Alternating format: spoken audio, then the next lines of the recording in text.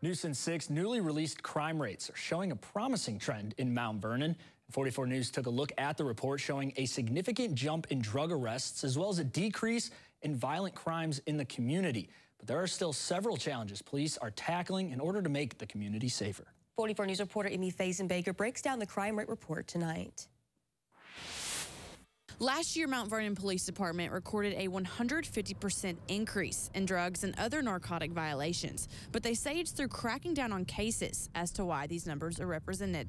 It's described as a renewed focus for the officers when handling drug and narcotic cases. Understanding the need to enforce the law is essential when half of the arrests last year were people who weren't even citizens of the Mount Vernon community. We know that uh, narcotics and drug trade does not stop at the city limits, does not stop at the county line.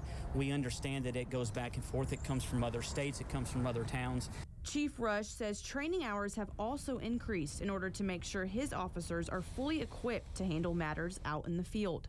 It's interdiction courses, it's uh, search and seizure courses, it's different things like that to help enhance the skills of our officers to make uh, so they, they, they can make better decisions on traffic stops and, and look a little bit deeper into the traffic stop or into the different calls that they go on to really focus on the drug trafficking in our area.